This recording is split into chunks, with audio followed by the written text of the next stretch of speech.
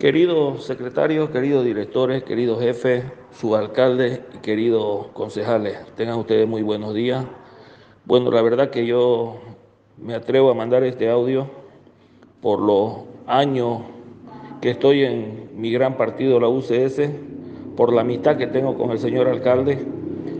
La verdad que estoy muy triste, muy apenado de, ver esta situación, todo lo que está pasando, queridos colegas, pero creo que nosotros deberíamos de estar apoyándolo en estos momentos difíciles que está pasando el alcalde, de cada, cada golpe que estamos recibiendo, y la verdad que él está solo.